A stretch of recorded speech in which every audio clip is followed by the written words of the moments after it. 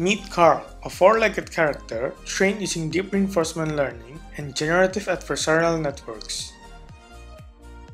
As a result, it can react to challenging environments, moves naturally alike to motion capture data, and it's also controllable via joysticks. Users can emulate the joystick movements using other navigation techniques such as ray sensor or pathfinding. Try our method and train your own interactive pet.